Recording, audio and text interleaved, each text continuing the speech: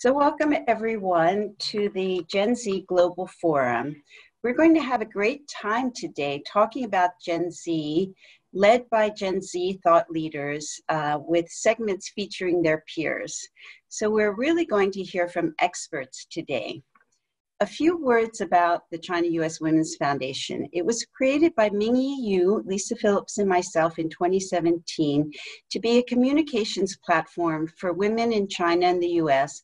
to share ideas, best practices, and friendship in order to help women and their families to thrive.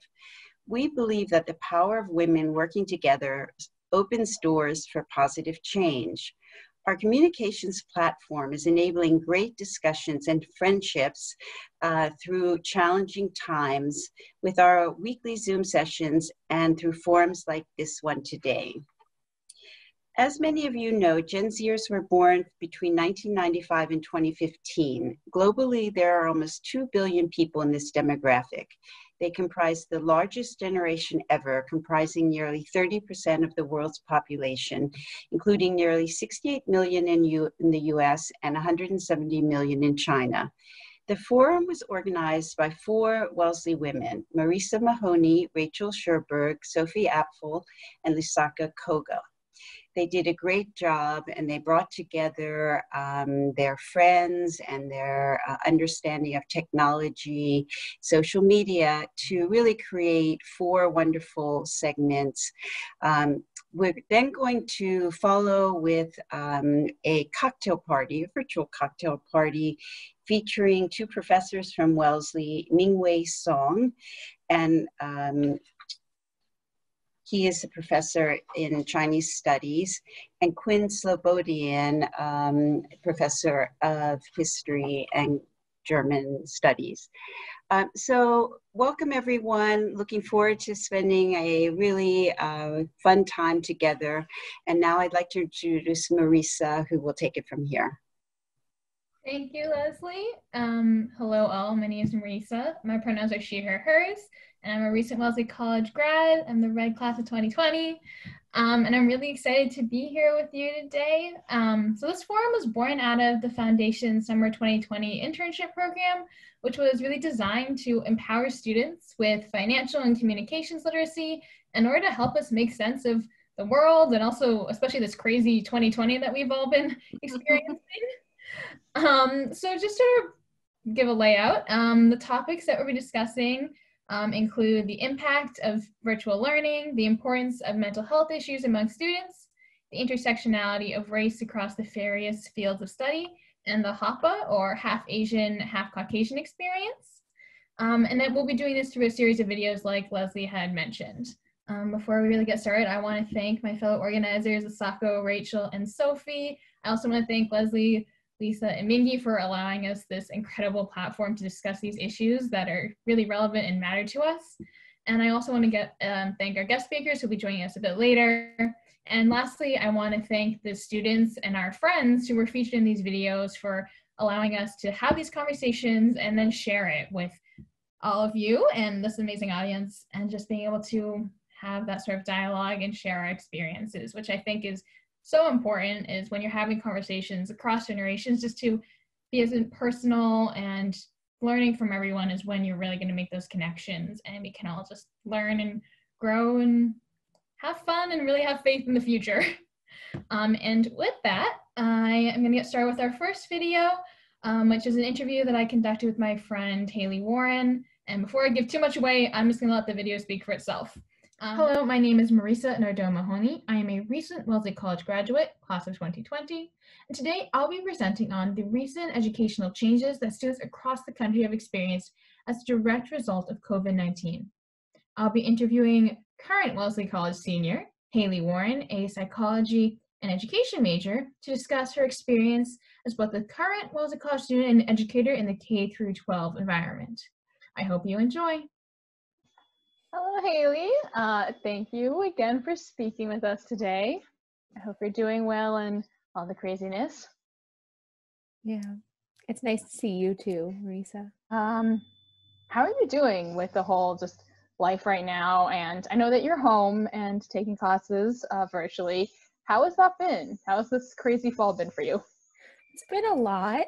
Um, I think that it's been a lot for everybody that I talk to, and for various reasons. I know that for those of us who are in college and who are in college at Wellesley, like the system is new and like that is definitely a challenging thing. Um, yeah, like online learning is challenging anyway, and then the term system of seven weeks and some is something that like no one has ever done before. So it's a lot of information at once. Um, but you know, like you kind of learn to be flexible and figure it out. Yeah. What impact do you think virtual learning has had on your own experience of just like the learning experience or that sort of element of taking risks or sort of forming those connections with your classmates? Mm. Yeah, I think that this is something I think a lot about. I think a lot about it from the perspective of being a student, and I think a lot about it from the perspective of as someone who is going to be a teacher. Um, and so I kind of have that like dual lens of like what does what is online learning like, and I think it is so challenging to be looking at a computer all day as someone who is a senior in college. And so then when I am student teaching online, I think a lot about how my students who are like 9 to 11 year olds are feeling in this case and they spend all like all day every day looking at computers too. And i think that that is very challenging. Um, so i think in terms of just like the fatigue of being on a screen all day is something that is very real right now and I think that is really hard. Um, I know that when I went into the semester, I was thinking a lot about building class community and what that was like because when we switched to online learning in the spring, like we already knew all of our classmates. And so that was like essentially my experience in that was like the established community that we had, whatever that looked like, basically function the same way that it did in the classroom online. So like if it was a good established strong community with like connections with people, we still managed to have that online. And if it wasn't as strong of a community, like it didn't get stronger online. Um but so I think that like coming into this fall, I was thinking and like was worried a lot about like how do you build community in like with a class in this new space. Mm-hmm. And I think that a huge part of that is on the professors. And I think that my professors have done an outstanding job of trying to build that community in an online space. And it's not easy. And I think that they, given all the circumstances, have really done a phenomenal job. And sometimes it's funny because I'm because a lot of us have never met any of these people before in person. Um, but I think that I have learned a lot. I am learning a lot in this in the setup, and I'm interested in the classes that I'm taking, which is a huge impact. But it is so different to learn in the online space. It's so different to not be able to be in person with other people and like turn and like talk to the people during breaks because you really miss all of the small moments that come from being in person and you miss like the casual aspects of an in-person learning environment which is a lot of what does build that community. And so I think that that is something that feels really absent and also not being surrounded by other college students is something that I know that a lot of my friends and I have been reflecting on that like although we might all study different things we have this sense of we would spend time like doing work together even if we're all doing our own thing and so, like, not having that is pretty weird because you're just like, okay, I'm doing my work now, but there's no one else here yeah. to do it with. Um, yeah. So, you kind of touched on it. You are an education major, and I'm not sure what exact age group you're aiming for, but um, I know that you're currently, are you currently student teaching right now? And how yeah. is that working? Yeah, so I am currently student teaching, and technically, right now, I'm in like, I'm in my pre practicum. So, I'm only part time student teaching, but I am student teaching in two different places. So I'm student teaching in a school in Vermont where I am living currently, and that is in part to have the experience of doing some in person teaching because school is in person. Well, school is hybrid here.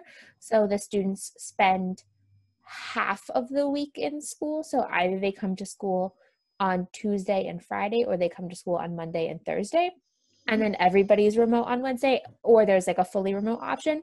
But so I wanted to have some experience doing that work. And so I'm working with fifth through eighth graders in that position. But then the position that I'll be in for, for the whole year, um, and so in the spring it will be completely full time, um, is with third and fourth graders, and that is completely remote. Um, so yeah, that's like kind of the setup of the two. Uh, yeah. Well, you were already mentioning how important it is to have that community in classes. Uh, how is it to sort of create that community when you have third and fourth graders or fifth through eight? I mean, I'm guessing they might have already had classes together, at least know each other in some way. Does that make, I'm sure that helps a little bit. How, again, how do you build those communities? Or have there been kids who just like are maybe brand new or haven't really had that much interaction with each other yet? Yeah, I think it, I am still, I'm definitely, I, so I've been with the fifth through eighth graders since the beginning of September because school's been happening since the beginning of September. So four, four weeks now, I think. Um, Yes. and not positive on that one. But then I, the school I've been, Boston Public Schools, just started two weeks ago. So they've been in school only for two weeks. So I've only been with that class for a little bit of time. Um, I think there's an interesting dynamic of the hybrid learning environment because kids are in school sometimes oh, right, right. so they see some people um and Uh-huh. then they don't see other people and like with that in that case like those kids have that's a school where kids have gone together have gone to school together since kindergarten um Okay. a lot of them or if they're new to the community they might not have but they a lot of them have like know, know each other already and so that's a little bit different. Um, i know that the school that i'm with in boston is like a little bit different in the sense that some of them are new some of them aren't and it's a third and fourth grade classroom so some of them it's their second year in that classroom but i think in both situations like my mentor teachers are really kind of focused on like how do you build this community because it's on everybody's mind uh, Mm. as like this is a like connection is a really important thing right now oh, yeah. like it is always um but i think that like that is definitely a priority that pe- like they have been thinking about and modeling and like trying to figure out like what works best in which, which situations um and like just how you do that Um, I guess this is sort of going into that question again with the building the community, but on another sort of level, how do you think students have been able to adjust to having either hybrid or being all virtual? I, I know I personally struggled with that. Yeah, I mean, I really can only speak for myself. Mhm. Um, in that case, I think for me, it's hard. Um, it definitely it would be different if we hadn't done it in the spring. Oh, yeah. Um, because I think that was like your practice round of like, oh, this is sort of how this works. Um, and then now you're like, oh, okay. this is like really like how you do it full time and i think like nothing will ever replace in-person learning like that is Mm. like that for me is like so like major and like that it's also not the first time i took some online classes when i was in high school so like i think the thing is i'm not not used to that in like online environment Mm. um, except that that was like the type of class where it was like online at your own pace like or like with deadlines but like you weren't really interacting with other people and so the whole element of zoom was not a thing um, and so like synchronous learning wasn't a part of that and so that is definitely something that is different i think i think it's very different for me in college than the way i like like i observe my students interacting with it i think that the way it's just i think it's a very different situation when you're sometimes in school sometimes not in school and Mm. um i think it's ch- there's a lot, a lot of challenges in like having the right structures in place to support like students in what they need um so i think there's a lot of like it's hard to distinguish what comes from it being a new system and what comes from it being online Mm. You've already touched on this with the whole in-person learning and can we do this regularly? Um, I guess I, I know your opinion. I'm sort of curious. As I've definitely heard talk about, oh, maybe will virtual become more normal or just become a more typical option for people. What do you, do you think that's really sustainable uh, from an education perspective, or do you think that we might go that route and then suddenly just be like, no what, in person is the way to go? when I think about like school, I think that to me, it's really important that you're able to build that community. And I personally think that like in person learning is a really important environment. What I think that comes out of being in the online space is that there are a lot of different ways to connect with people that we might not have done otherwise.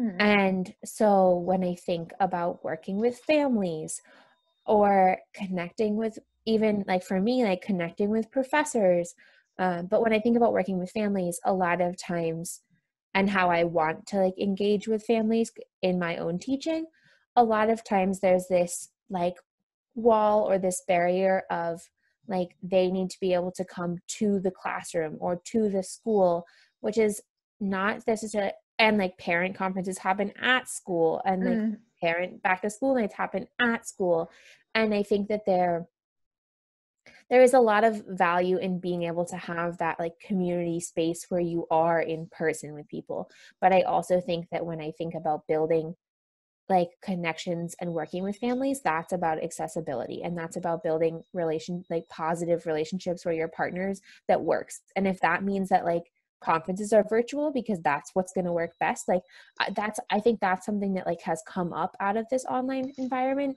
that like mm-hmm. should be an option and should stick because the way that we engage and the way that we like have opportunities to engage with people like i think that is something that like will I think that like a lot of people that I've talked to have started to be like, this should always be an option because mm-hmm. having an online option like does increase people being able to come because if you are like at work and you have a break, like you could talk on the phone or you could like hop into a Zoom meeting, that sort of situation, which like is very different.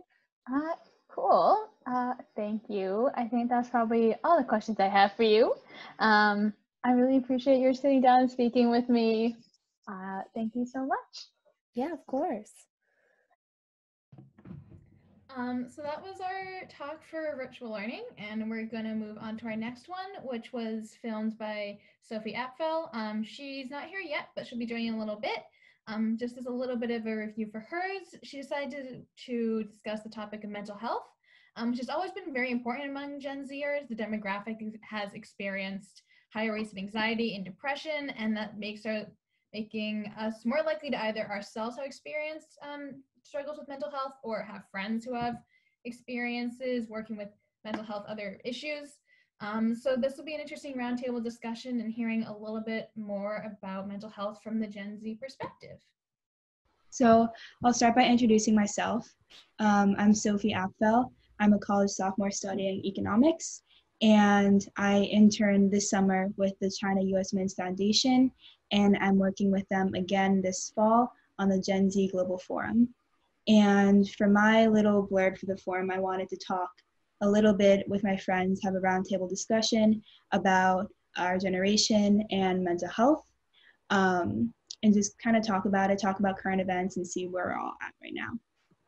So, just a little bit of introduction. Uh, as we all know, recently the COVID 19 pandemic has added unprecedented stress and anxiety to our generation. Um, the pandemic is really the first major historical event that our generation has had to grapple with, because many experts consider 9 11 to be like the inflection point between Gen Z and millennials. And like the other stress factors like mass shootings, rising suicide rates, climate change and global warming, immigration policy, sexual harassment and assault, the pandemic is something that we're having to deal with at a young age.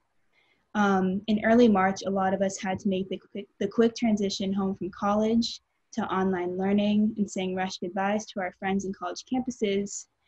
And suddenly our generation was feeling lonelier than ever. Um, and now added on to that loneliness is just a sheer uncertainty for the future of the virus's spread, a vaccine, the health and safety of ourselves and our families and friends, as well as the prospect of entering the job market in a recession however, Gen Z is trying to take our mental health into our own hands. Um, we're the generation most likely to seek help or treatment from mental health professionals, and Gen Z is using social media tools to connect with others. 31% um, of Gen Z surveyed said they're now more likely to vote in November because of gaining a new interest in politics that arose during the pandemic. 83% shared that COVID 19 uh, has impacted their views on government. And 82% of Gen Z believes that the pandemic has actually made them feel more solidarity with others around the world. So even in difficult times, Gen Z is working to make the best out of the situation and take control of their mental health and end the stigma surrounding mental health issues. And I look forward to the future for an inspiring society led by Gen Z individuals. So with that, I think we can all just go ahead around and introduce ourselves. Um, Anna, do you want to start? Sure. I'm Anna. I'm a sophomore at Middlebury College. Um, I'm one of the co-presidents of our little um, Active Minds branch of the national nonprofit. Um, and I'm also really interested in psychology, working in a psychology lab currently and doing an independent study. Great. And I have a special interest in mental health. Uh, Sterling, do you want to share a little bit about yourself?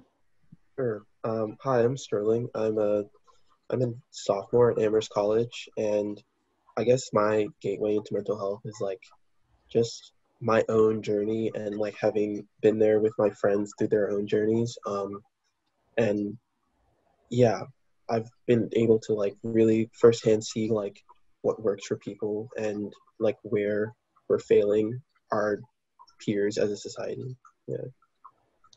And finally, Gunjan.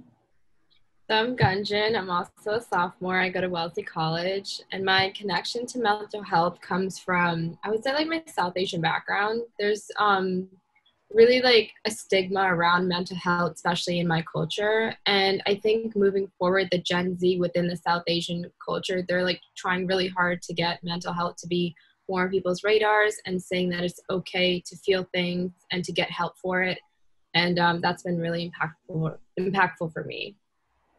Yeah, I definitely feel like that's um, an issue that you see a lot in Chinese culture, East Asian culture as well. There's just not a lot of awareness surrounding mental health issues, so it's harder, I think, for those individuals from those backgrounds to find resources or get help if they need it. So I definitely agree um, with where you're coming from.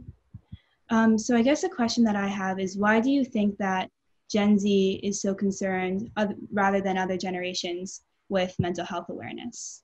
Um, Anna, do you want to start? Yeah, um, I'm not sure that we're more concerned. I think we're just more willing to say that we're concerned to be open about it. And I think we're finally having conversations that we haven't had before. And there definitely is like a generational gap. Um, I mentioned this before in a discussion um, with you, Sophie, earlier, and I was kind of talking about how I have been like told by my parents and even like professors, um, just like kind of set, are subtle things that are like, don't bring your mental health up in like a, um, like a professional context. Um, and like when I was applying for a job that I might be especially interested and passionate about because I've struggled with depression, my mom told me not to include that because it might be seen as like a burden or something that takes away from what I could add to the sorry to the position. But I think it actually that like continues the stigma and by fighting against that and being really open about my struggles with mental health, um, I'm hoping that other people will be too. And I think a lot of people are talking about on social media now for the first time. Um, and also like I've had a lot of conversations with my friends um, since high school and especially in college surrounding mental health. Um, Sterling, if you want to go. Yeah, speaking of social media, I think like our conversations around social media and like how we have to perform and like the way that we're forced to interact with other people on social media, that's definitely been a big reason why it's like a huge talking point for our generation. Like just the way that we can interact with so many different people it's just like a stress that like no other generation has had to deal with um, so i think we're just hyper aware of how that's affecting us and like what we can do to combat the way that it's affecting us. Yeah. And gunjan yeah no i definitely agree about the social media um, aspect of it all. I think that has a really big um, impact on how we're like talking about mental health. And i think it's bringing everyone a little more closer together and people are more willing to share their experiences because they see that maybe like celebrities are starting to share their experiences and they're like oh i relate to that and they're willing to be more open about it and also i think like especially with the rise of tiktok even we get to kind of see like the raw part of people's lives. And that's kind of the part that no one has really been able to see before. And we're able to see that everyone kind of goes through the same things we do and we're more willing to have a conversation and talk about like struggles we may go through because we see that other people are facing them too and that we're not alone. Yeah i definitely yeah. agree. Yeah i was just going to say i do feel like uh, social media can definitely be used in this context to uh, create bridges among people and you know uh, people can understand that they're not alone or that they might even have a friend that they didn't even know who was uh, struggling with mental health issues or something like that. Yeah i've um, actually used oh sorry. Go on please. Um, i've actually used social media in that capacity for the first time starting in quarantine. Um, i started a social media account for our chapter of active minds and actually we were able to recruit people that way and spread awareness and I've interacted with people who have posted about their mental health kind of I think it's it definitely increased with the pandemic and the social justice movements going on right now. Mm-hmm. And a lot of times when people post about their mental health, I'll respond to the story um, and I'll reach out and talk about any similarities and just I always think it's a sign of strength when you post about your mental health. Um, and I did that for the first time for National Suicide Prevention Day. And I've just found a way to connect with people that I wouldn't normally connect with. And actually, one of them, we ended up having a long conversation. And then I told her about the Active Minds Club.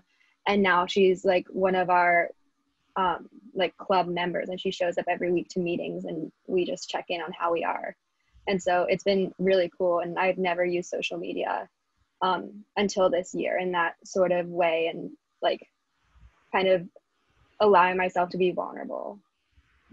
That's really great. Um, that's really inspiring stuff. Um, and then I guess my last question for you all is what are the issues that you think are impacting Generation Z mental health the most?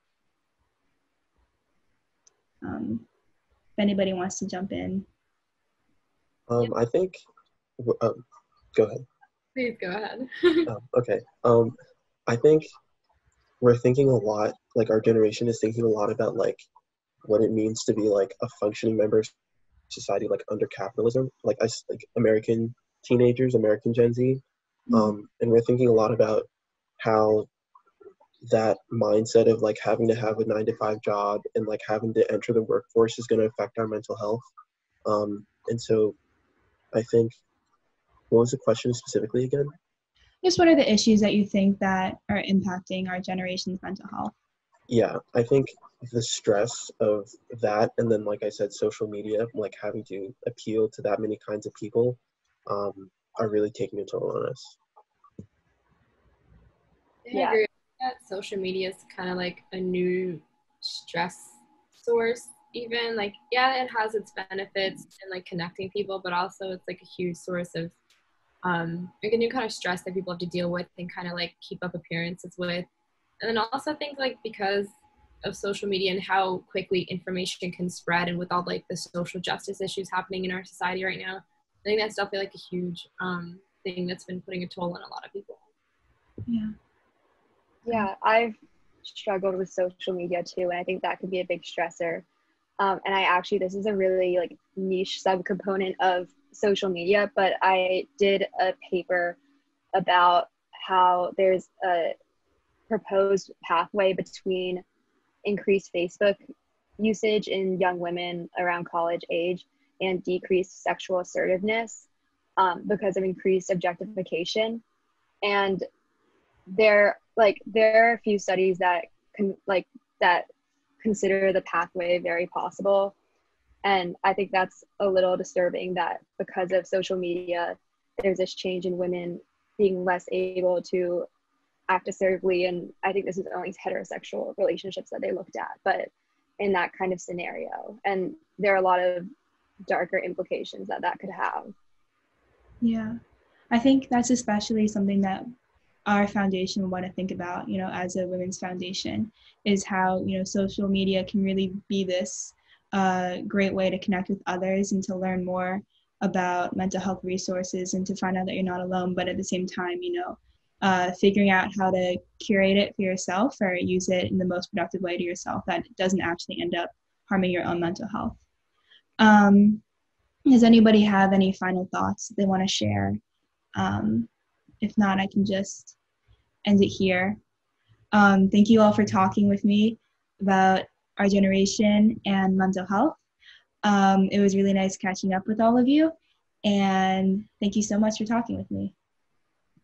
Sure. Thank you for having us. Thank you. Thank you. Alrighty, um, we're gonna move on to Rachel's. Rachel, do you want to give like a quick intro to your talk?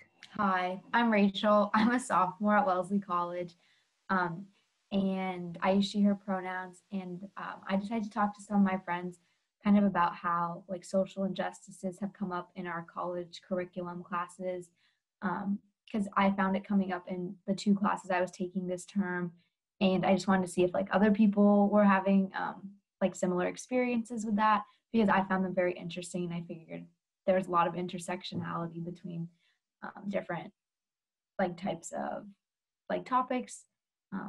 So yeah. Hi, my name is Rachel. I'm a sophomore and I'm um, an economics major. And today we'll be discussing the intersectionality of the social justice movement and what we've been learning in our classes. Um, so as the social justice movement continues, I noticed some connections between the material I was learning in my classes and how it intersects um, with everything that's been going on politically. And I've noticed more discussions in my classes and amongst my peers about how what we're learning um, fits in towards working, fits in towards fixing some of these injustices or just about how they connect. Um, so now you guys can introduce yourselves. My name is Hope. Um, I am also a sophomore here, and my intention major is computer science. Um, yeah, Lily. I'm Lily. I'm a sophomore at Wellesley as well. Um, my major is anthropology at the moment. I'm considering a minor or a double major in CAMS. So the first question is, have you noticed more discussion of social injustices in your classes um, or just about how, like, have you thought about how your field of study um, like intersects and fits in with this whole movement? Do you go? I can go first. Um, so I'm um, an econ major, and uh, my econ class was the one that like made me think about talking about this um, as my topic for discussion. And we were talking a lot about how different um, like policies that were implemented, what their intended effects were, and like who they're trying to help um, but like also discussing how they were actually implemented and what the actual effects were. And it was really interesting. Like we discussed um, the like PPP loans, um, like from COVID, and we read um, like a study that talked about how uh, it really ended up not the money didn't end up going to the um, the people and the small businesses that were actually hit the hardest. Um, like a disproportionate amount of the money was actually going towards uh, companies that were not very affected by it. And I just thought it was interesting. Um, we also discussed uh, like generational wealth and showing studies about like whether wealthier parents tend to have, or the kids who have wealthier parents also tend to be wealthier.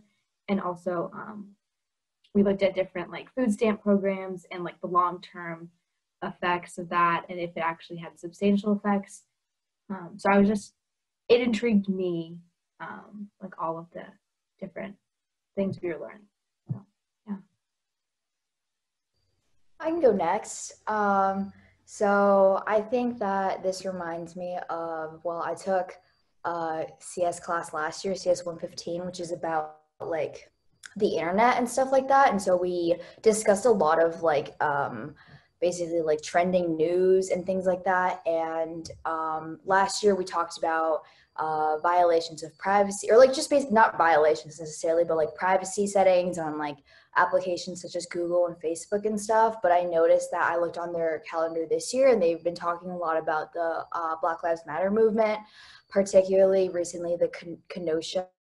Um, like the the shooting that had happened and the Facebook event where uh, they were asking attendees to bring weapons, and it had been re- reported by people a um, ton of times, but moderators didn't violate any rules, which and it ended in two deaths. So um, pretty tragic. And so I think like things like that, um, they'll incorporate uh, news like that into our classes, as well as this year, um, you and I are both taking this class, computer science, where we did a week where uh, we didn't go to class, rather read some of um, the, uh, I'd say like imbalances in the computer science um, kind of not just the department, but as in general, like the whole field of study. And in particular, I'd say like the um, artificial intelligence stuff, since it is developed by uh, primarily white men, it's influenced by that and it's biased in a way against. Um, I, don't know much about the women aspect, but especially people of color definitely is biased against them. And so um, if you're using to uh, pinpoint I don't know if you're using it to um yeah, like if like facial reconstruction and stuff. Um, if you put in the like um, a high resolution or like a low resolution photo of a person of color, it will like return one that like looks like a white person, and it's just because they didn't really test it on um, people of like different ethnicities, um, because um, the people who developed it were primarily white males. So it they're just it's important that there needs to be more um, representation and also just like thought going into um, how these things are tested before they're made available to the general public. Right especially because like as we move on we're going to start using these kind of technologies more mm-hmm. and more. Like an example literally like a lot of iphones these days have like um, like face scanning stuff. So in order for everyone um, people from all backgrounds to be included in kind of in this kind of uh, technology, we want to have the field and the developers themselves be diversified. Okay. yeah, all right. So um, we talk about, we take a very different angle in anthropology for um, discussion of social justice. It actually becomes kind of a delicate issue because um, while it is pivotal, there is this idea that um, assuming that one way is the right way is what we call ethnocentric um, and you sort of refuse to believe that um, some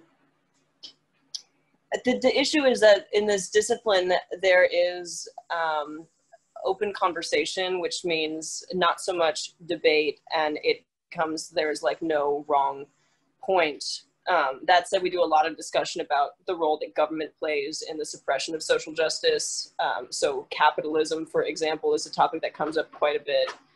Um, but one way I have noticed that I have been influenced by um, just the nature of the political climate today and, and all of the events that are taking place um, is in my work more more so with um, like my media audit mm-hmm. uh, as I'm working for a company trying to we're, we're trying to push into the limelight the idea of one health um, which, if you haven't heard of, is a coalition of several different, um, like well, like well-being organizations, so like physicians, dentists, even um, we have environmental specialists and veterinarians is a big one. So we're doing like a lot of zoonotic um, research because a lot of the reason that people are getting these contagious diseases and um, we have events like pandemics is that there is not a sustainable way to feed the number of people on the planet right now, and the people who are affected first are often in lower income areas. Um,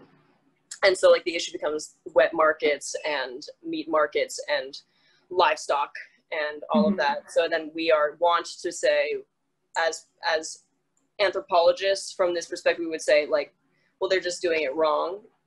Um, but the truth is that we're all so interconnected so we can't really push the idea of one health until we push the idea that um, that not only are all species connected but human beings are responsible for each other and ourselves.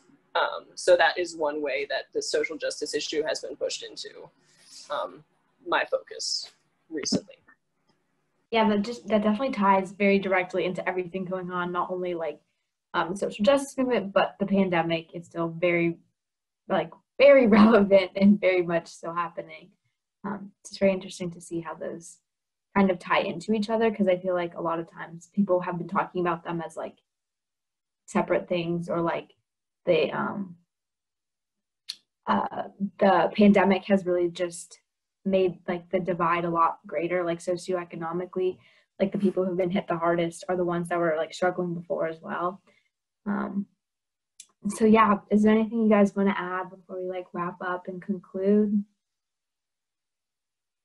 No. Vote. yes, that's very important. I think um, it's hard to um, find any kind of like area of study in college without it somehow bumping up against this issue of social justice, just because it's so prevalent in our society today. Yeah, um, I think just as everything's been brought to the limelight, and also just like as I've gotten older and learned more things, it's become a lot more clear that eh, things are so intersectional and like you have to be very conscious of not only just what you're focusing on but how it affects other groups of people a lot more like a lot more bigger a lot more of a bigger picture than i initially thought before um. So thank you guys for your time and coming to discuss all this um, yeah so Thanks bye bye Alrighty, um, so that was Rachel's. I really like that talk. And um, Asako, would you like to give a brief presentation on yours? So, hello everyone. Uh, my name is Asako Koga. I am also a sophomore here at Wellesley. I use she, her pronouns. And for my discussion, um, I gathered some of my Hapa or half Asian, half Caucasian friends together. And for me, I was always interested in this topic because I grew up um, in a very like predominantly white neighborhood in New York City. So for me, being Asian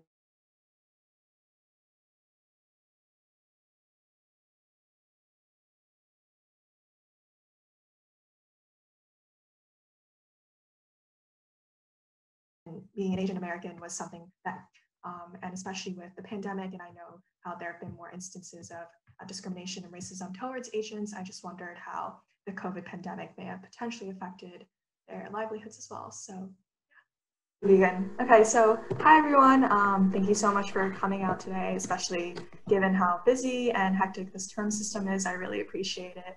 Um, and yeah, we're just basically going to do a super casual discussion about how um, your part Asian identities have kind of shaped you and have, yeah, basically been a big or a small part of your life. And I would just like to hear more about your experiences growing up, as well as maybe how they have potentially been impacted in the age of COVID-19. So maybe we can just start off by introducing ourselves. Um, so name, pronouns, class year, and if you feel comfortable, just talking about your background. Cool. I can just um, can start. Anyone can go, yeah. Ellie. I use she, her pronouns. I'm a sophomore. Um, I'm from San Francisco, California, and I am half white, half Chinese. Um, I think at least for me, um, my Hapa identity has always been something that I felt really confident about um, because growing up, I was enrolled in a Mandarin immersion school starting when I was like six years old. So, um, like, obviously, growing up in America, there's a lot of white culture on that side. But um, at the same time, like, through my education, I was exposed to a lot of Chinese culture and, like, I learned the language growing up. Um, I consider myself conversationally fluent but not literate at this point. So um, I think that having that like aspect, like having education as a way for me to connect to my culture was really important because like as I grew up, I was kind of equally influenced um, by like both sides of my identity. Um, that was really helpful as a kind of I like matured and was starting to like grapple with my identity. Um, it was kind of easy to like be secure in myself. And I would say that like honestly, I don't see I don't I wouldn't think that like the pandemic altered the way that I think about my identity that much. I do like this is a fun story, but um, because of the pandemic, I did take a summer class, which was Intro to Widgist at Wellesley with Meg. And um, we read a lot of feminist theory about like intersectional feminism. And I wrote a bunch of papers about like my identity and about um, like Hapa women that I had been inspired by. And so this sparked a lot of really, really valuable conversation with Meg over the summer. Like we would talk for hours about kind of like the way that we perceived our identities. And so I think that like even though it wasn't a direct correlation with the pandemic, it definitely like fostered these conversations um, that kind of helped me with my own like self-actualization. That was nice. Thank you for that. Um, I can go next. I'm Meg, she, her pronouns. I'm also a sophomore. I'm from the Seattle area. Um, like Ellie, I'm half white and half Chinese. Um, I would say I'm grateful to have grown up in a place um, that had a lot of Asian people and a lot of half Asian people like me. So I like saw myself represented in my classmates pretty often. Um, and that my mom is from China, so I've been able to go um, and like speak some Chinese with my grandparents. I'm not as fluent as Ellie, but um, I have been taking Chinese for a while, which is nice.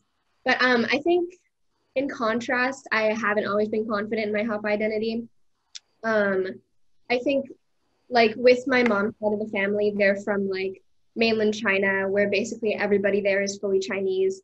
And my dad's side of the family is from like rural Michigan, where everybody is white and like like blue-eyed white. So I think I like grew up always feeling slightly different from my family, like regardless of whether I was in China or Michigan. Um, so I think definitely it's been something weird to grapple with because I think that there's always like con I don't know with every race and like every like mix of races there's always going to be like stereotypes or like beliefs about how somebody should be. So I don't know where I'm going with that. But I think that I've grown a lot more confident over the past year, largely thanks to like that we're just class or just like discussing um like we are now. Thank you. Uh, I'm Erica. I'm a first year. I'm from Chicago. I use she, her pronouns, and I'm half white, half Japanese. And growing up, I grew up in a predominantly like white neighborhood and white schools, so I didn't really see myself represented um, in my class or with my teachers. And I think growing up, I wasn't I wasn't really like proud of like showcasing um, my culture or heritage. And I think oftentimes there were there was only one other Asian girl in my class, and the teachers would always like mix our names up. And so I was like, I thought that was normal at the time. And my mother was born and raised in a very rural part of Japan. So whenever we went back, um, people would often like stare at me or like point at me or like walk up to me and like start saying like random English words. So I think growing up, I felt like pretty insecure about my identity.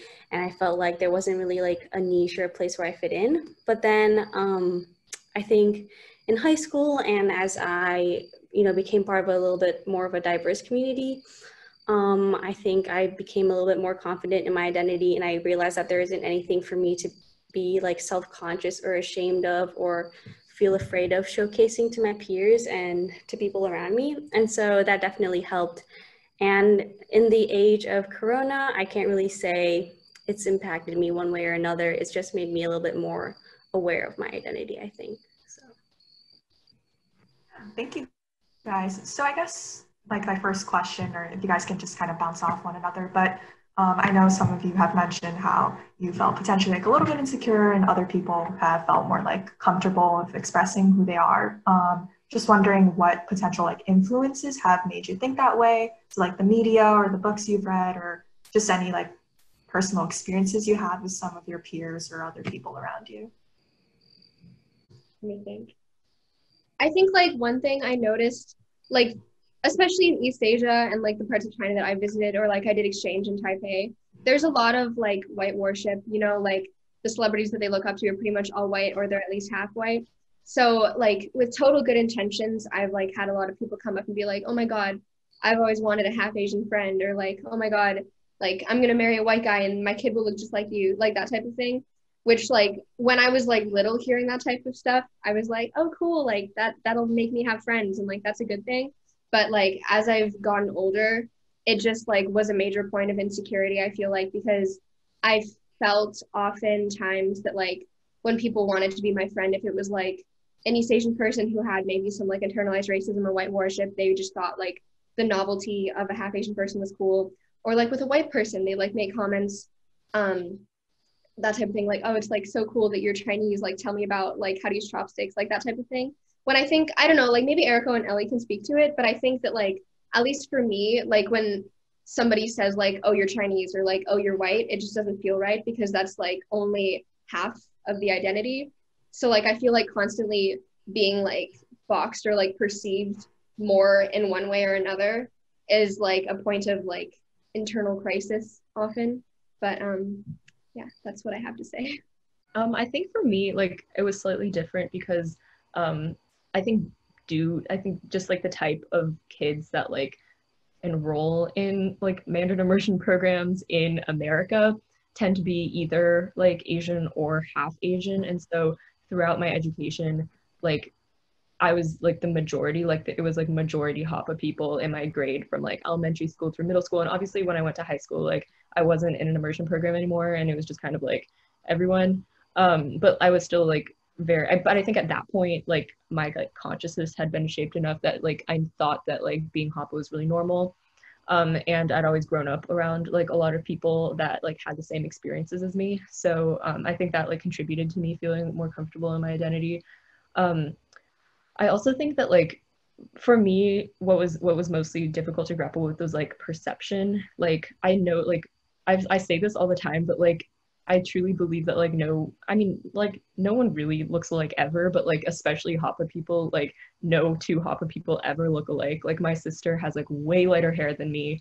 Like um she has like darker skin. Like we all we like we have extremely different features and like kind of based on my experience and like terms of like the Hapa people that I've like grown up around, like, like no one, no like two Hapa people look alike.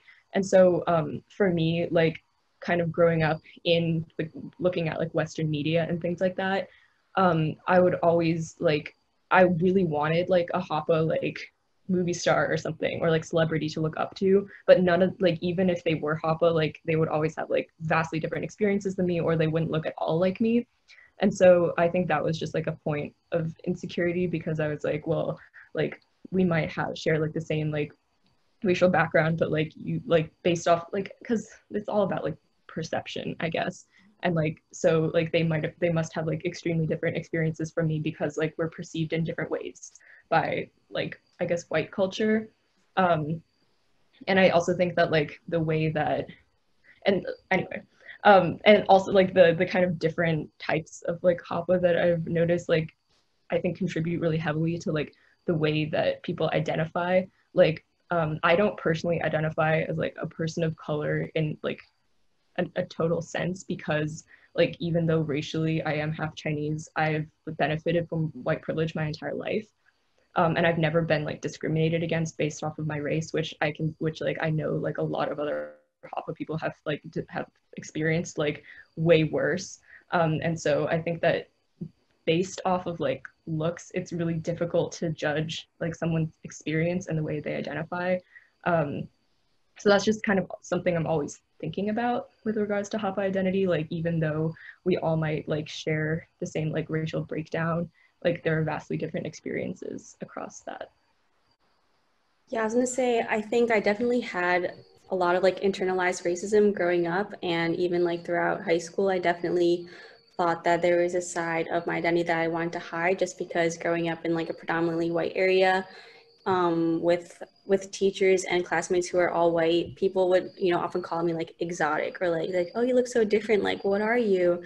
Or you know they would ask i think it was it wasn't meant to be offensive or anything like that. It was just out of ignorance but it definitely made me fully realize that you know I am not white, but at the same time I'm not 100% Asian, and so I think I struggled a lot with like when people ask me like what are you like do I say I'm Asian? Am I Asian American? Am I half? Like how how can I explain it to people in a way that they'll understand? Because I knew I wasn't fully Japanese, I knew I wasn't fully white, so sort of trying to navigate that was pretty difficult. And sort of like what Ellie said, I think, especially in the media, not seeing Hapa celebrities or Hapa like actors, actresses, that definitely made me feel like I felt like, you know, I'm a minority. And so I think, yeah, that was just something that I was aware of. And um, I think now you see that a lot of that East Asian culture is kind of becoming like popular and mainstream with like K-pop or like K-beauty or like, you know, East Asian food even. So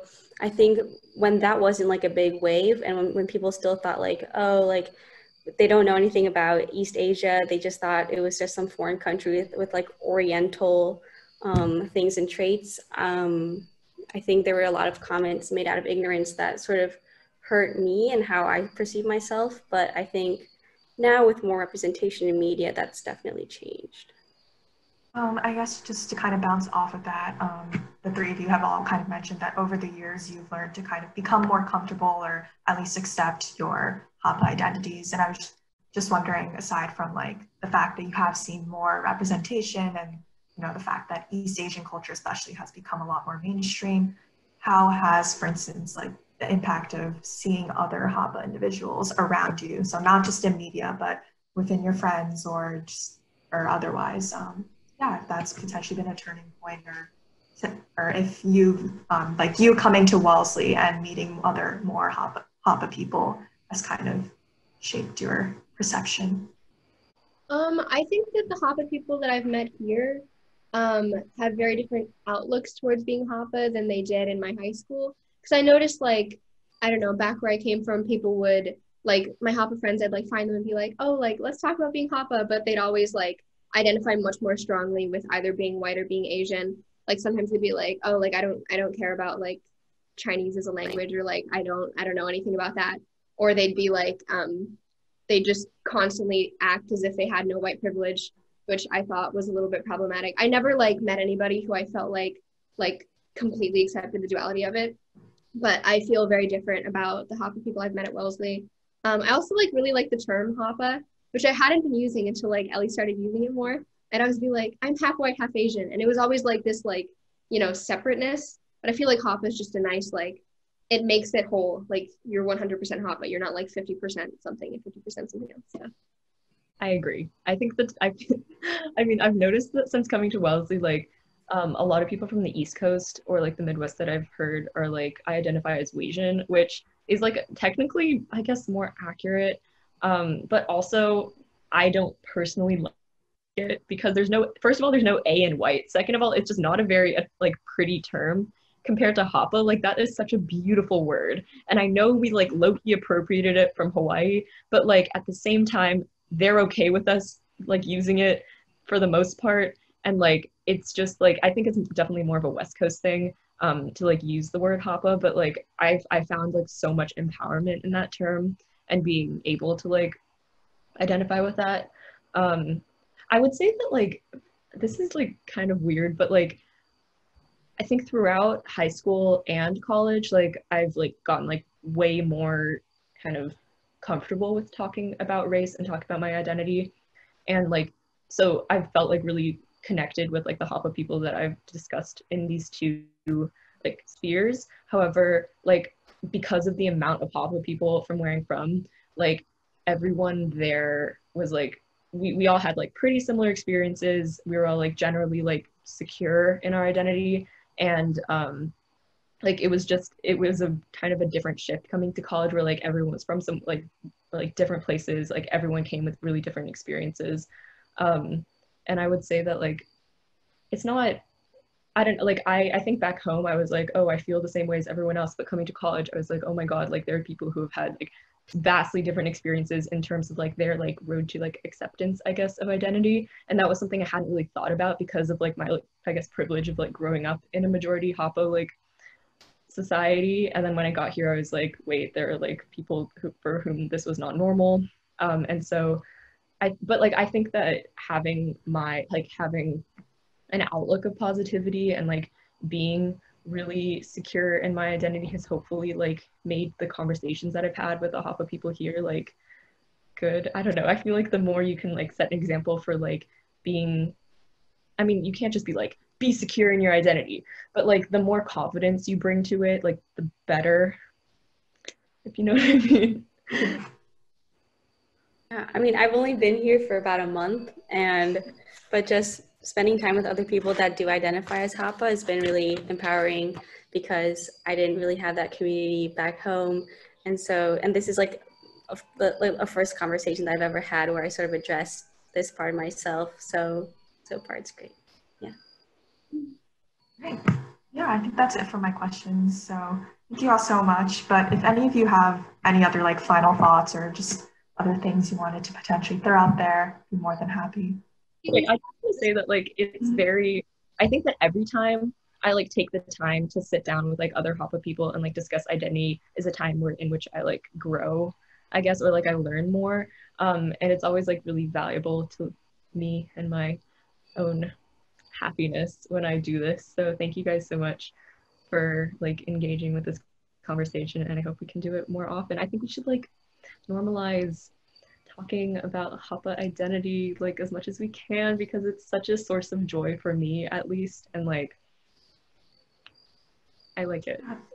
No, yeah. thank you all so much for coming out. Um, I know that I definitely cannot relate to any of the experiences that you guys have had, but it has been really enlightening and interesting to hear about all of your experiences. So thank you so much for being comfortable enough to share them all with me and everyone here. So yeah, thank you guys. that concludes our videos. Um, I just want to say thank you again for everyone who are um, my fellow uh, organizers and again your friends for agreeing to doing this and allowing us to show these videos. Um, and so I'm going to pass it back off to Leslie as we transition into the cocktail hour. So thank you so much, Marisa and Asako and Rachel and Sophie. It's just been wonderful. And, you know, it's interesting. Um, this is an area I think Zoom really excels. It's like oral history in the modern age. It really does capture the zeitgeist. Um, we have two experts who can probably opine on this, but it you know, I personally have done like oral histories uh, when I was uh, younger with like Holocaust survivors, and it was very like, you know, in person and very strong. Um, that immediacy of um, discussion I thought was captured in a lot of these videos on topics that are quite sensitive. So um, great, thank you so much. Um, now in the cocktail hour, in the good old days, we'd like get our Prosecco or our beer and we would, you know, kind of relax and then welcome our next guests who we're so pleased to maybe expand the conversation. We've been really living with the Gen Z generation for the last hour. Uh, Mingwei and Quinn, um, and I'll let Marisa give the introductions, are professors at Wellesley College. Um, for your information, um, uh, professors, um, the founders of the China U.S. Women's Foundation uh, are Wellesley graduates, and Mingwei is from Shanghai. So we're speaking all the same language, uh, hopefully clearly. Um, but it's great to now broaden the conversation about Gen Z. Um, Professor Song, you probably have uh, insights about the experience in China. And you, Professor Slobodian, being a globalist and also a European scholar, might be able to opine on Gen Z uh, in Europe or whatever your thoughts are. But anyway, uh, thanks so much for joining us, and I'll pass it on to Marisa to make the formal introductions. Um, hello, professors. Thank you for joining us. Really excited to have you, and thank you for agreeing to um, be on the call today. Um, I'll just start off with giving a brief introduction um, for Professor Song first. Um, so since joining the faculty at Wellesley College in 2007, Professor Song has designed, um, renovated, and taught a variety of courses covering the literature, film, and pop culture of modern China. Professor Song's pedagogy emphasizes the balance between close reading and critical thinking and evokes a sympathetic understanding with historical analysis and intercultural literacy.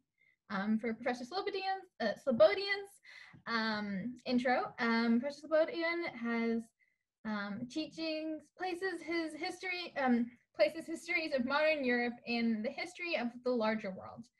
Um, the school is pursued in classes with topics as diverse as the history of cities, world economic orders, gender and sexuality, and the exhibition of ethnic performers as savages in the 19th century Europe.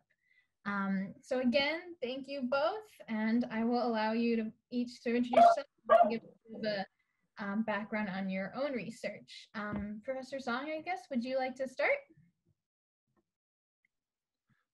Okay, thank you, Marisa, for inviting me to this uh, forum, uh, this cocktail party, and uh, thanks, uh, Leslie, for organizing this.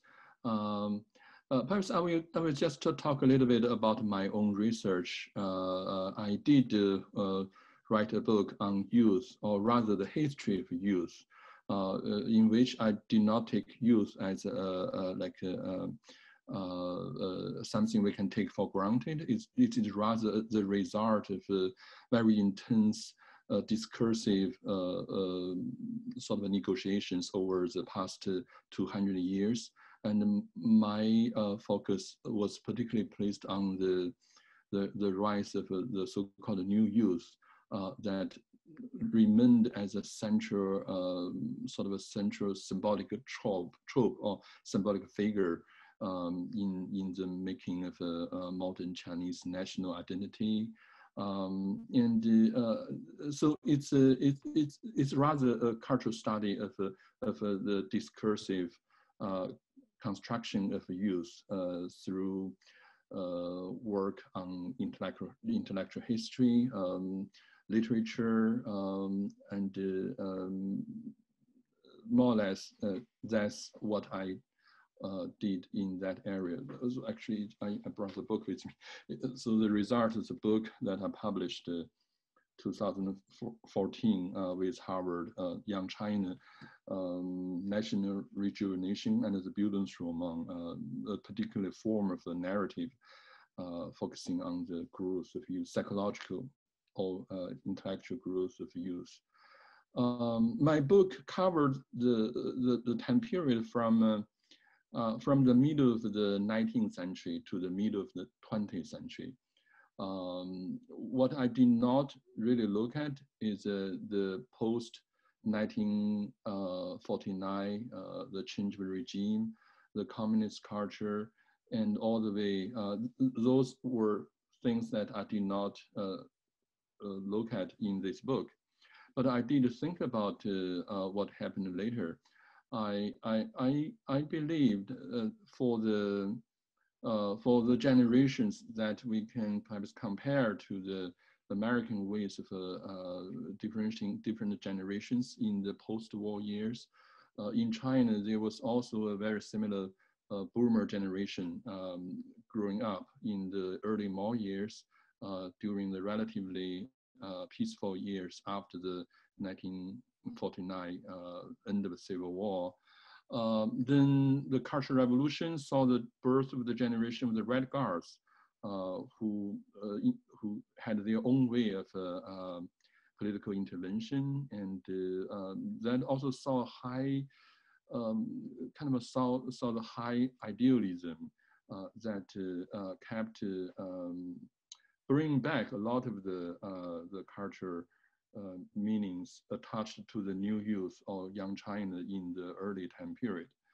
Then uh, this continued all the way until the early reform era, and uh, I, I, think we, we, we saw uh, the pro-democracy um, movement uh, in China in throughout the 19, from the late 1970s to all the way to 1989.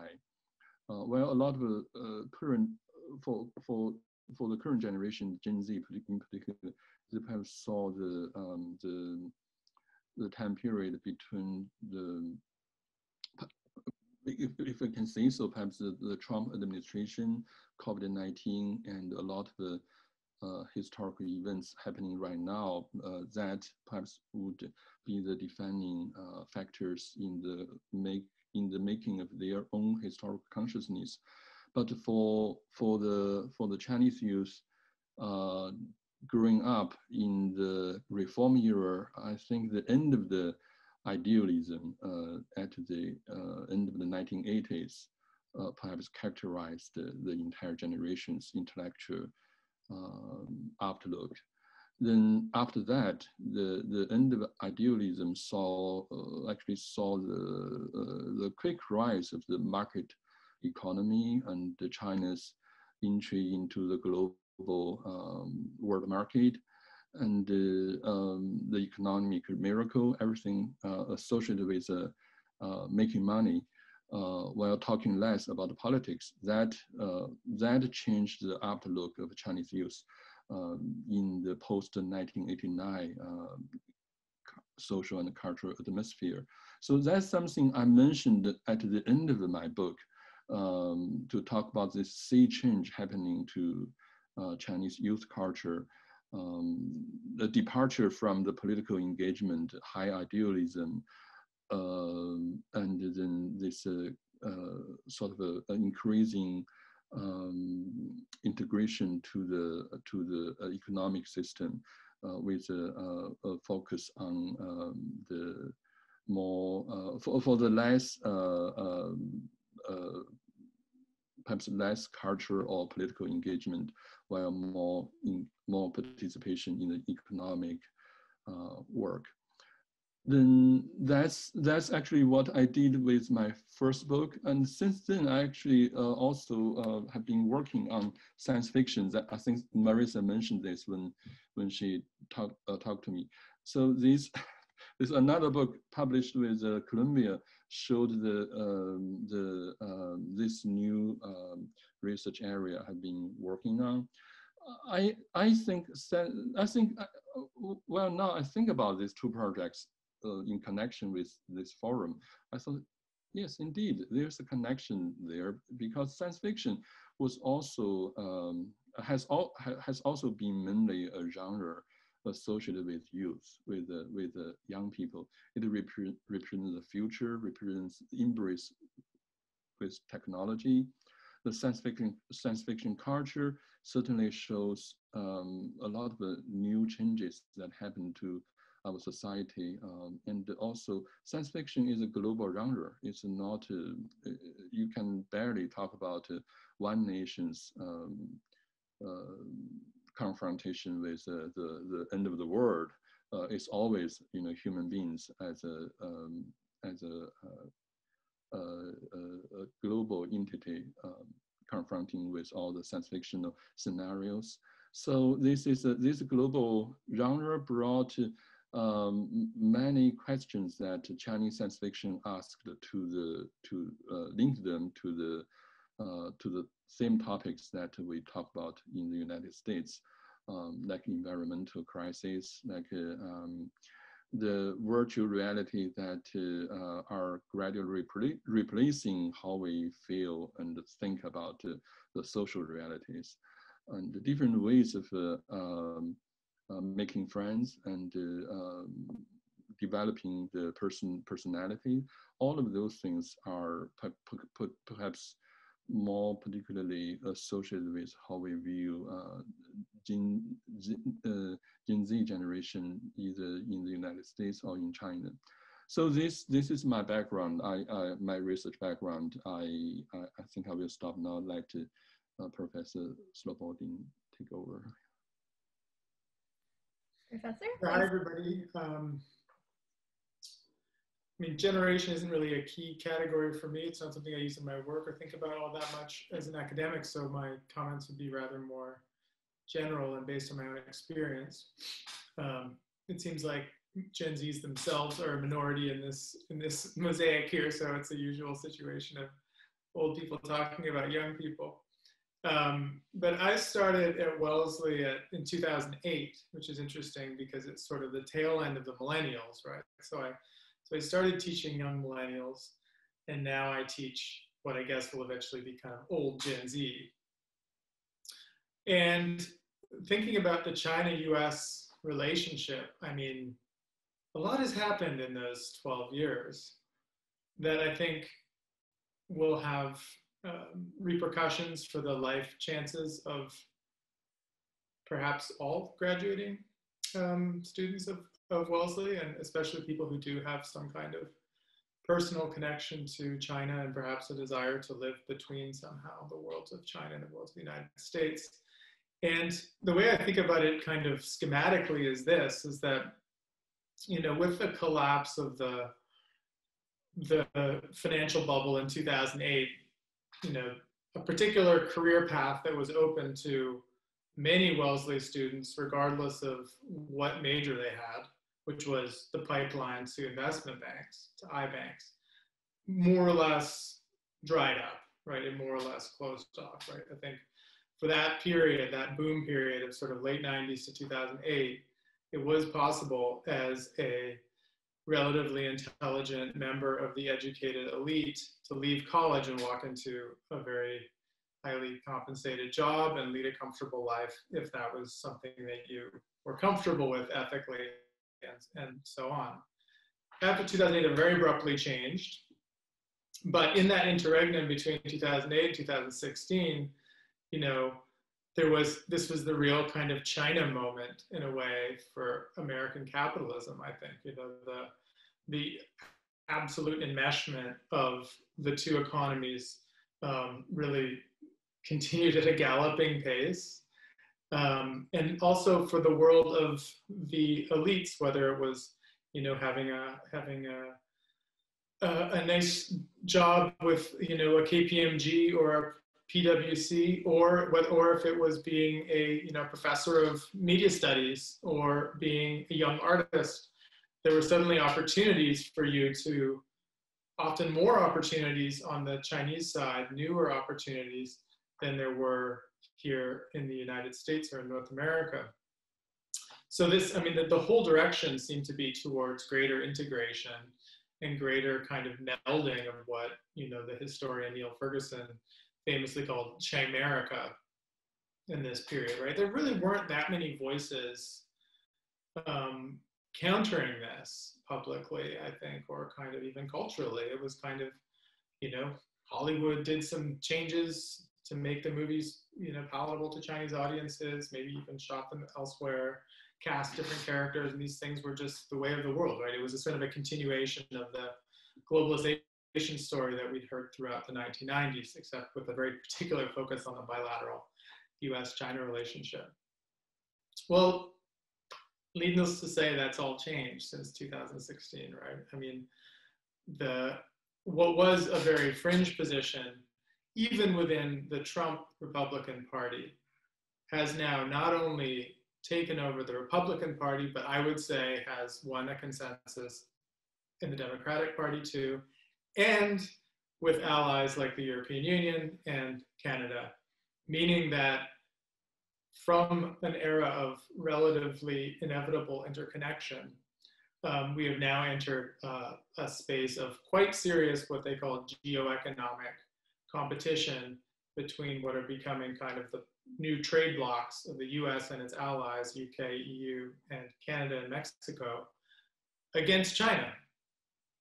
And this obviously, you know, is very disturbing, not only from the point of view of you know, global security and kind of world peace, um, but also especially for people who feel personally invested for whatever reason. I would even count myself among them with with having a mobility between the worlds of you know China and Hong Kong and the United States as something that is natural and not something that has a series of um, diplomatic and and even kind of you know um, bureaucratic barriers thrown up in front of it. So the the era of kind of integration seems to be over and the era of retrenchment and the retreat behind um, mutually uh, competing or mutually exclusive zones of economic enrichment is is is with us now and that seems to be um, that would seem to me to be a very big reality facing a gen z um, young person, especially someone who has any sort of ties to China, that this idea of being able to live between the two spaces or move fluidly between them is much less likely than it was five years ago. And that the prospect of needing to kind of make a choice, which wouldn't have been there five years ago, is probably part of life now. You know, do you want to make the choice to make a career in China, mainland China, or do you want to make a choice to stay here? And if you stay here and you happen to have a Chinese passport, how long are you going to spend at the airport? I mean, this is this is this is a reality now, I think, and um, I think it's it's a special challenge that you know the, the the putative audience for this for a forum like this would would all be would all be facing. But that's my that's my take. I'm happy to I'm happy to hear what other people have to say or just kind of have a more open-ended conversation on this. Uh, thank you both. Uh, this would be a great time to um, really open it up, have just that open dialogue that Professor Slobodian had just referenced. If you have any questions, this is also a great time to ask those as well.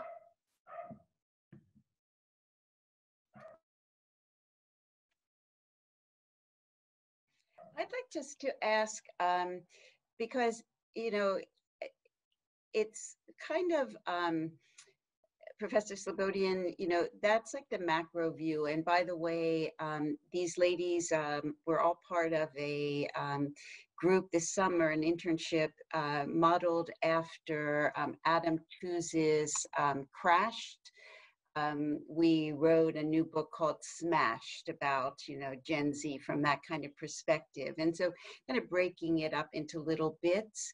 And one of my kind of uh, realizations from this forum is that um, Gen Z, of course, they're young, they're resilient, they're looking to the future, but they kind of break up the world into different parts through social media, through their particular interests, and that maybe it won't be that they have to choose anymore, like, are you living in China, are you living in America? Maybe it will all be much more of a hybrid.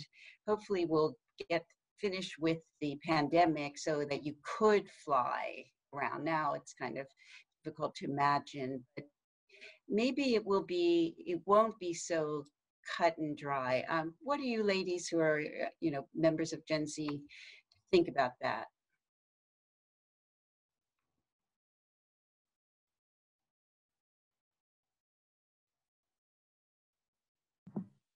Yeah, I mean, I think that's like an interesting point, especially because, like, with everything going so virtual now, it does make things a lot more accessible to like meet with people in different time zones, um, things like that and it's just like opened up i think a lot of like different opportunities um, and yeah so i'm interested to see i think that kind of goes hand in hand with like what sticks like um, with how we've adjusted to working during a pandemic um, and i think that would definitely play into it uh, yeah because I, I think it is po- i don't really know but maybe it is possible to kind of have them um, like cross and like it would be possible to but I, I mean, I think that's nice as an optimistic way of looking at it. But I'm not just talking about the pandemic, right? I mean, the the exclusion of Huawei, the arrest of the CEO in Vancouver Airport, the attempt to ban WeChat and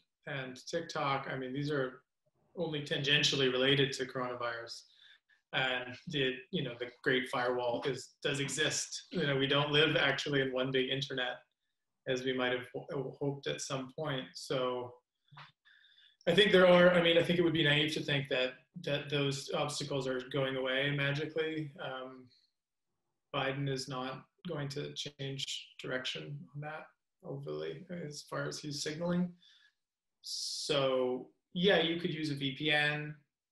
You can watch YouTube and Google, use Google even if you're in mainland, but that kind of ease of mobility is it's I mean that I don't know what what maybe what I'd be interested to hear what what Mingwei thinks about that. Is that frictionlessness movement coming back anytime soon? Do you think? Um, I, I, I uh, certainly doubt it. I think Quinn raised a, a very in, a very good question about what's um, what's happening now and what's going to happen next. Um, I think for for my generation, I, I really grew up in uh, from the late 1980s. I would say uh, 1980s still um, was very important to my generation. I, I I think for for for the Chinese growing up in that time period, uh, there was always a tendency uh, to to that's like opening up China to um, to 走向世界, that is go into the world as if China was not a part of the world. But literally that was the process when China was about to enter the world. Uh, then uh, like 40 years, almost 40 years later, it would be imagined that this should be something as a given, but it's not. It's actually, it's a, it shows the the divide widening up uh, very quickly uh, since the peak of uh, um, like the the, the, the Chinese uh, Olympics and uh, Expo that happened as uh, Quinn said this China moment. Um, then after that, it looks like there was a conservative trend that took over. And it's not just that, it's also combined with the more and more emphasis on technology And uh, this also changed a lot, changed a lot how people uh, uh, thought about the world and uh, uh, thought about how one can engage the world. Uh, I actually, after I received Marisa's invitation, I did a little research asking some of the, I would say Gen Z, actual Gen Z students, either in China or, or in the United States. What I, what I learned uh, seems to be, um, well, the, uh, the, the, the, the young people from both sides agreed that there was an increasing reliance on technology or the, the, the, the, the technology defend uh, um, uh, sensibilities and uh, things how, how, how you can use to, to understand the world. Um, but in China, that trend seemed to be uh, to be developing much much faster than what happened in the, in the United States. One thing that the student told me is that in the United States, uh, when you have a virtual community, it's still very much based on like the same group of people uh, or like uh, people you know or, or you know belonging to the same community, there is still some kind of uh, organic uh, uh, community behind this. But in, in China, it looks like the, the split between the virtual and the organic, between, between the virtual and the real um, is, is, really, is really a big issue now.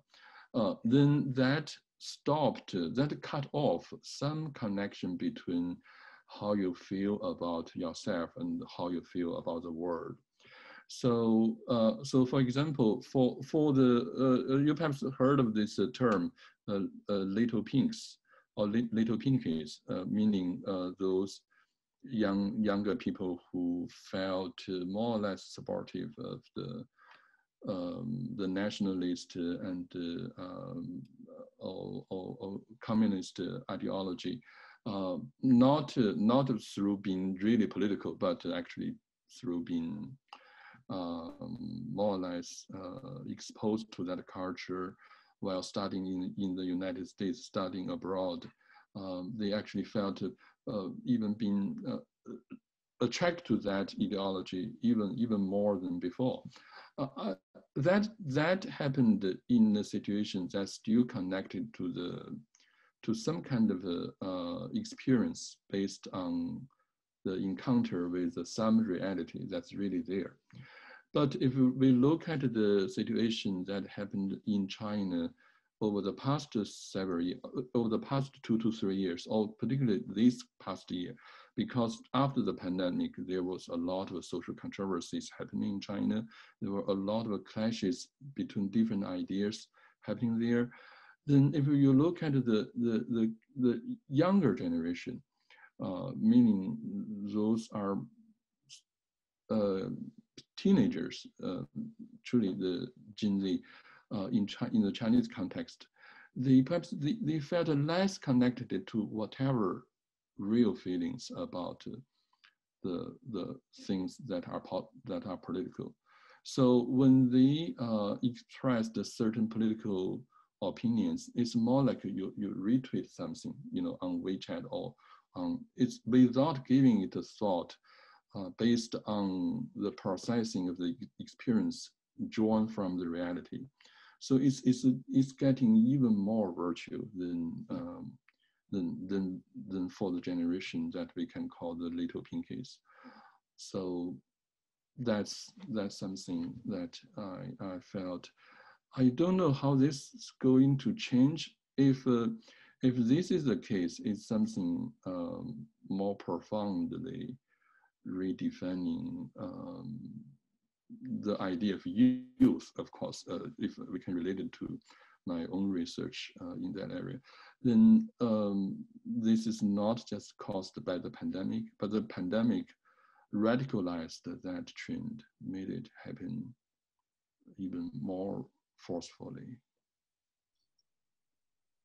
Yeah, I mean, I have a kind of uh, interesting parallel to this from work that I have done, which was about East Germany. Mm-hmm. And in the 1950s, East Germany and the People's Republic of China were close partners. And um, young East Germans learned Chinese and they learned Chinese songs, they learned about Chinese art, and they learned Chinese opera. and they, in many cases, traveled to China, and vice versa. Chinese students came to East Germany and learned German and learned Schiller and Goethe and all the rest of it.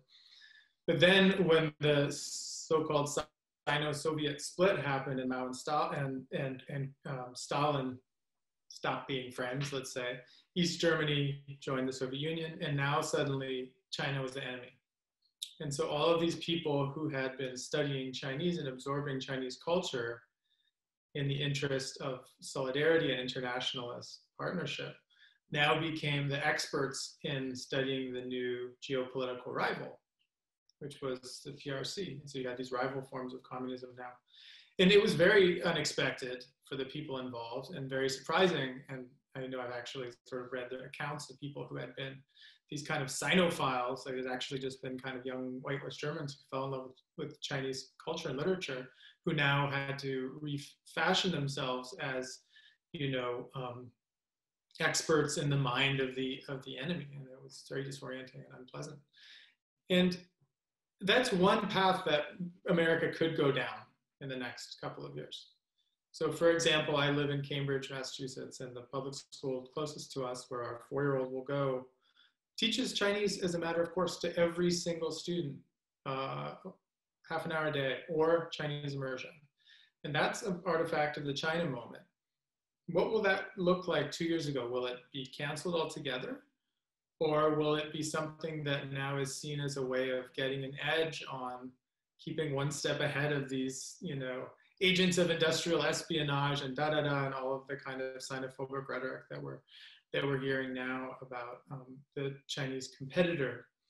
And, and I, I do think it's a it's a very delicate moment. And I think that if, if should Biden be elected, it's going to be very, very important for him to signal strongly that he does not want to turn this into a relationship of enmity and start a sort of Sino-American split 2.0 or a Cold War 2.0. I mean, it's going to have it's going to be very important for him to do that, not just for the macro level, but for the everyday experience of people who scan as Chinese to white people. To be quite honest, I think that's going to become a very serious, a very serious matter. Um, so yeah, I don't mean to be alarmist, but I but I do think that you know, we, we do need to be mindful of that and not think that it's going to be kind of business as usual and that there might have to be some kind of, you know, strategizing pressure. I know that when Biden ran a very anti-China ad earlier in the campaign, there was a big backlash and he's since walked that back, I think, wisely. So I think that kind of, you know, vigilance about um, the outburst of sort of anti-Chinese racism is actually really important right now, I think, personally. Actually, just uh, uh, to to look at China, actually, there's this increasing um, could be called anti-American sentimentality as well. Um, this was rather radicalized uh, during the Trump uh, administration. Um, so it looks like this uh, a lot of things that happen in, in the United States uh, eventually sabotaged uh, the the plans for further reform in China. But you would think trade war, everything like that, should push China toward more reform. But that's not what was happening. What's happening is that it set back the reform. It uh, radicalized uh, the, the conservatives in China. So gave voices to uh, extreme nationalism and uh, so that that changed the picture as well. That made uh, those who uh, usually are Americanists or pro-American um, scholars, intellectuals, very hard, uh, very difficult to to continue um, uh, out, uh, voicing that sort of opinions in China right now. But uh, I just actually, I paid attention to some news uh, yesterday. Uh, yesterday it's reported that, you know, TOEFL, TOEFL, that's the test everyone needs to take. in order to come to the United States to study. Uh, when they uh, opened the, uh, the, the, when, when they opened the registration for TOEFL tests in Beijing and Shanghai, just within 24 hours, all booked. so that means there's still a lot of uh, young people who wanted to come to the United States. But that speaks to some will. Or the UK or Canada or Australia. Yeah. Do you need TOEFL for those schools? No, no, no. For for for uh, TOEFL is only for uh, the United oh. States. Okay. For, yeah, for UK, Australia. I think for the uh, for the Commonwealth uh, of uh, uh in, uh, the British, um, that's a different thing. It's called. IEL. Yeah, IEL. Yes, that's that's different. Yeah.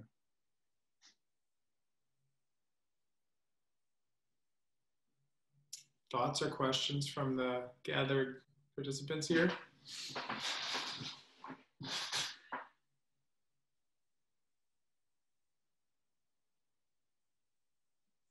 Um, if I may. um, first of all, I just want to thanks to Mingy and also Leslie uh, for um, having, you know, for this invite. And uh, this is really eye-opening experience to me because to be honest, I didn't know what to expect.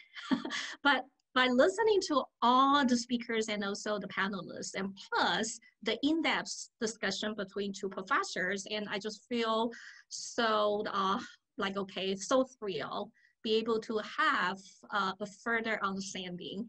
And um, First of all, I am a big fan. Actually, I am a firm believer for cross-generational learning. So um, talking about myself, actually, I am a Gen X.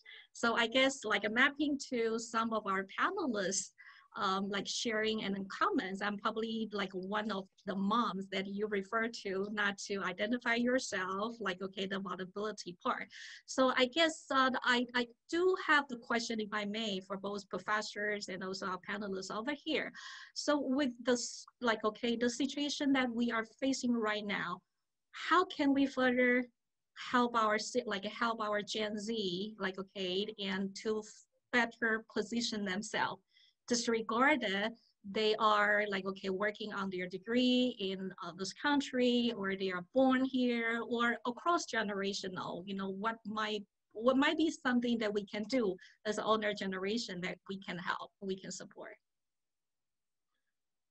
Well um, i certainly see the um, uh, a lot of uh, challenging moments for our students right now. And I, I, i've been talking with students who came from China, um, stuck in the situation that Professor Slobodian just uh, described.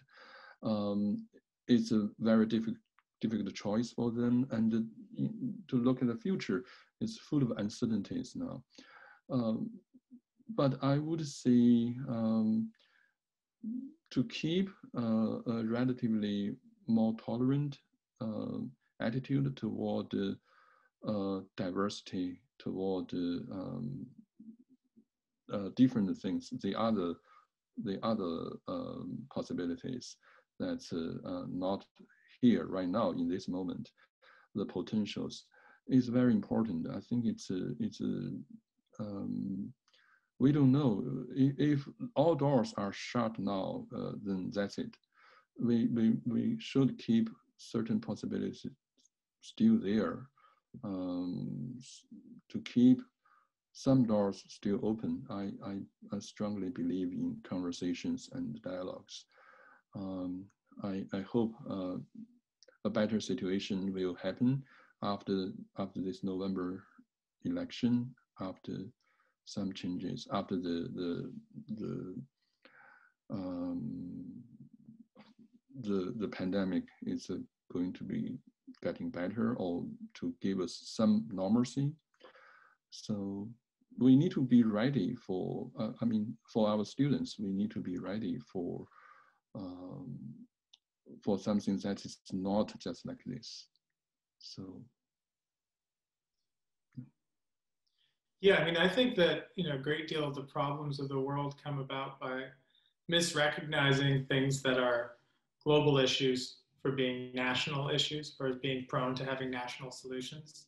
And to give two examples there, I mean, I think labor politics and climate politics are two things that are currently keeping the United States and China apart or in a set, in a feeling of competition when they could and should be the grounds for some kind of cooperation. So I think it's important to see that that competition with China in manufacturing has had structural effects on American employment in, in specific parts of the United States. So there's specific parts of the Midwest where people who had good paying jobs, reliable work in factories now no longer have that, partially because of automation, partially because that work is being done for less in China. And generation of policymakers, both Democrat and Republican, had let that happen. They've encouraged that to happen, actually.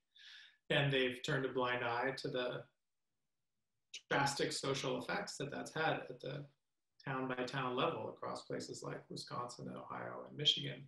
And they paid for it, right? And they paid for it electorally in 2016. And in a way, they deserved it, right? They, they needed to be woken up and, and given a slap. And so now they have, they better get, take the right lesson from it, right?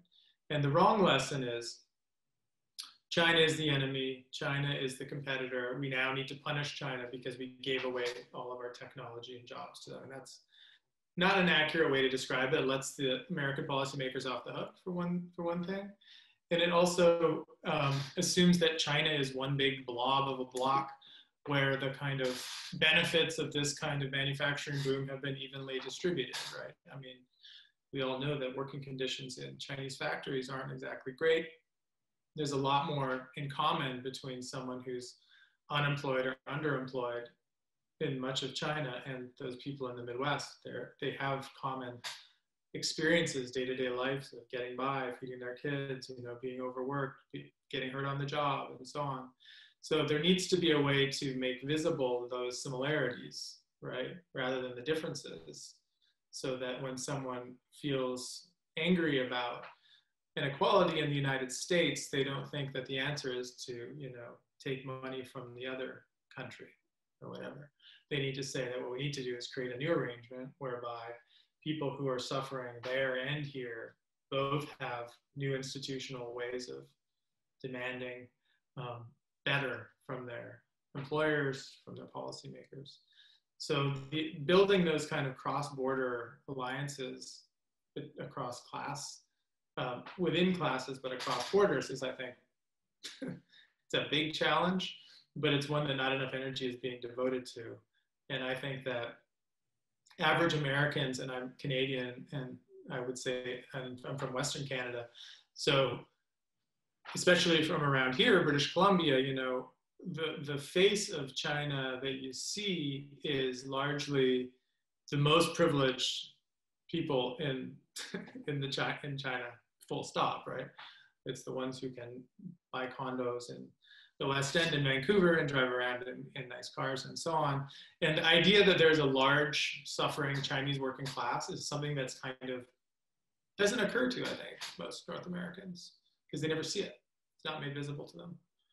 Um, so this is where art comes in. This is where film comes in, literature, poetry, all of these things can be very powerful means of making visible, I think, the ways that inequality exists here and there, and any solution is going to have to happen between and not against.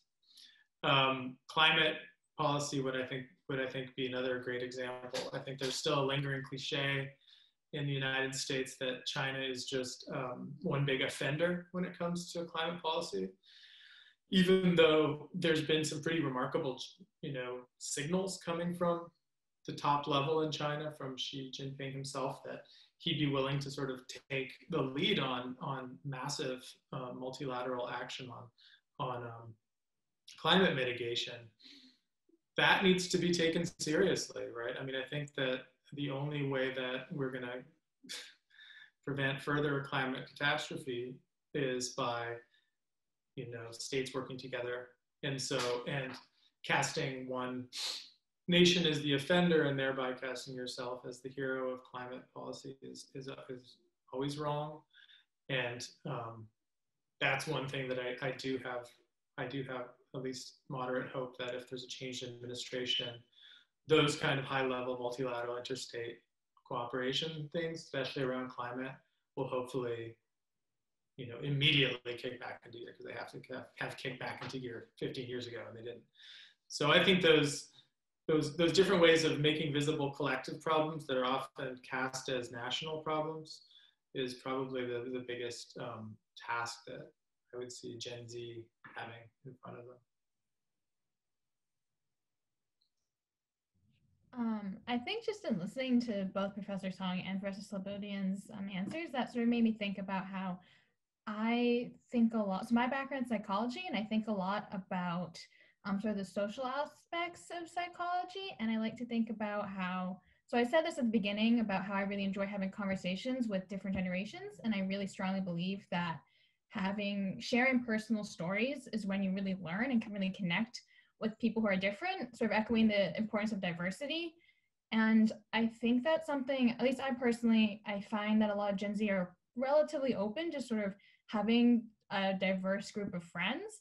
And hopefully we'll also will include a diverse set of thinking as well. And I think that, at least in the States and with a really polarized um, nation, it's definitely hard to have conversations when you're so diametrically opposed on certain topics. And with some people I've spoken to, you can have you can have better dialogue despite coming from different sides of um, an issue.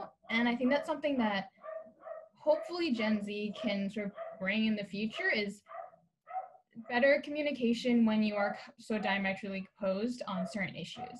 And I think that, like I, I said again, I think that utilizing stories and personal experiences and just talking to people um, who may share the same views or may not will be really important for just Gen Z to think about and try to think of ways that you can have those conversations where you can really learn from each other as opposed to just shouting at each other, trying to like really convince somebody of their opinion, of your own opinion, but trying to have those conversations and understanding where everyone's coming from and learning and being able to, like like um, Professor Slobodian has said, being able to understand that the issues experienced in one country, you might be you might be experiencing in another. And I think that that'll be something that Gen Z has to really think about. So Marisa, well said. You definitely are a thought leader in the Gen Z, as are the other uh, organizers. Thank you, professors. Um, hopefully you'll come back in a year's time if we're all still here and healthy and will the world may look completely different and we look forward to getting your takes on it. Hopefully uh, we'll be in a better place but uh, it's conversations like this that really make uh, the day-to-day so wonderful. So everyone be well. Thanks for joining the gen z global forum and uh, see you next time